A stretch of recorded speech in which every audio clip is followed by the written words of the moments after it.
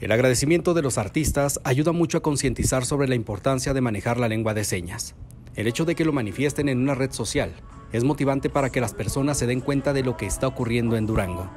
Es importante agradecer al gobierno del estado porque en esta ocasión le dan su lugar a quien o quienes interpretan lengua de señas, ya que otras ocasiones los colocaban escondidos para que la gente no los viera. Y ahora es todo lo contrario.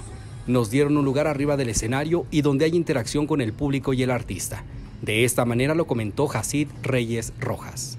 Eh, yo siempre lo he dicho, soy una persona enemiga de la palabra inclusión y, ha generado como que esa controversia cuando lo digo, porque les digo, ¿por qué tengo que incluirte si ya eres parte de? O sea, en el momento en el que yo digo, voy a ser una persona incluyente, en ese momento yo ya te saqué, ¿sabes? Como persona, porque todos somos los mismos. Te cortas y la sangre es roja para ti, para mí, para todos. Aquí en China, en cualquier lugar que tú quieras. Vamos, a donde mismo, nos van a, vamos a caer a donde mismo, nos vamos a hacer igual polvo, ¿no? Entonces, gracias a esta palabra, que lo considero un mal necesario, gracias a la palabra las personas se han podido dar cuenta de la necesidad o de la importancia de, aprender el idioma. Yo aprendo eh, la lengua de señas, fue porque estaba en la preparatoria, estaba en mi salón había sordos. Entonces yo les decía y les digo a todos, cuando yo empiezo pues realmente no me llamaba mucho la atención los sordos porque no les entendía. Yo veía ahí una, una señora, una maestra, la maestra Gis, y ella estaba haciendo ahí las señas. Y yo, pues, ¿qué estará haciendo esta señora aquí, verdad? Aquí en el salón.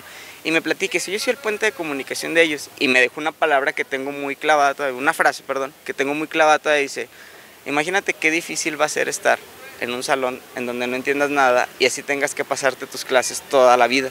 Dice, entonces yo entro como el intermediario, el puente de comunicación entre ustedes, los oyentes, sus amigos de ellos, los profesores y ellos, ¿sabes? O sea, la interacción que vamos a tener nosotros con ellos. Desde que tenía 15 años de edad comenzó a estudiar este idioma y posteriormente quiso aprender más. Es por ello que tomó clases en Yucatán y Morelos y posteriormente se especializó en con intérpretes de México y Monterrey. Aprendes mucho lo que es la, la comunicación no verbal, a entender la gesticulación, a entender las expresiones que te dicen las personas. Es bien sabido que que el cuerpo habla más que lo que la boca dice, ¿no? La boca al final son palabras que se da el viento y el cuerpo realmente expresa lo que quiere decir, entonces te ayuda mucho a entender eh, pues a los demás, ¿no? Ahora lo complemento con lo que es el, idioma inglés y, en varias interpretaciones, entonces creo que esa es la parte, te humaniza mucho el, el entender o el trabajar con la discapacidad te empatiza y dices, ah, cara, yo puedo estar en la misma situación o en cualquier otra situación, ¿sabes? O sea, ahí es donde entiendes que como personas tenemos un rol en la sociedad y lo tenemos que cumplir. No por benevolencia, lo, te lo repito, sino porque somos una sociedad en general y todos estamos en el mismo barco, en el mismo mundo. Con imágenes y edición de Raúl Vargas, le reporta para Noticieros Garza Limón, Víctor Salas.